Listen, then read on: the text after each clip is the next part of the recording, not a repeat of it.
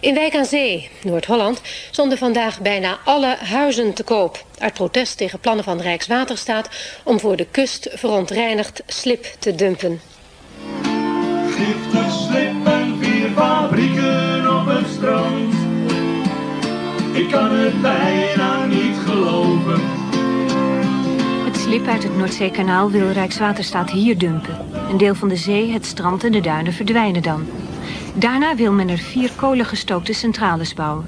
Dat terwijl Wijk en Zee juist dacht dat de industrie niet verder zou oprukken. Er werd weer gebouwd in het dorp. Met het toerisme gaat het goed. Wijk aan Zee is een familiebadplaats zonder de drukte van bijvoorbeeld Zandvoort. En heeft leren leven met de hoogovens. Dit plan betekent volgens het dorp het einde. Badgasten zullen wegblijven. Het slip verontreinigt het milieu. De kustlijn wijzigt zich en daardoor zullen elders aan het Noordzeestrand duinen afkalven.